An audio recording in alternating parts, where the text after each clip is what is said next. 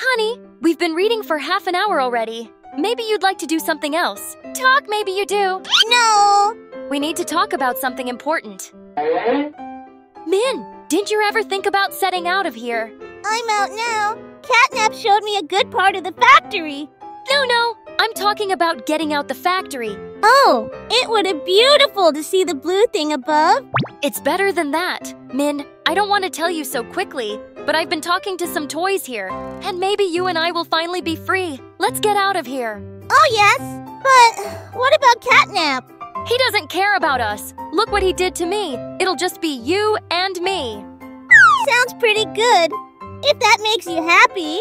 What's wrong? I thought you'd be happy about what I told you. Daddy, you never told me about it, but how come you and Catnap hate me if you don't like each other? Like a mom and a dad. We just ran out of love, so much so that he hits me, I guess. Don't think about it. But that's from when I was little. I remember it well. There wasn't a day when they argued or hit each other. Blame that cat. It's all his fault. I know Catnap is bad, but I'd just like you to give each other a hug. Maybe one can where we feel love for a second. Mean. Maybe. Could. It's late, say goodbye to Dogday and let's sew. Ah, wanted to stay longer. Please, No, it's dangerous, let's go.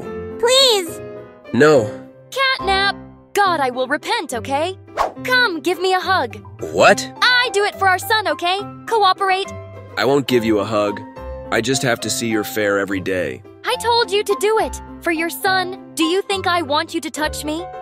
Now, what did you want to touch me so much? Ha ha! Of course not! Min wants to see us without fighting for once, but you can't even handle that. Oh, in spite of everything, they tried. My parents. Stop that, I adore them. The last days we'll have. We could spend it together for a min clip's sake.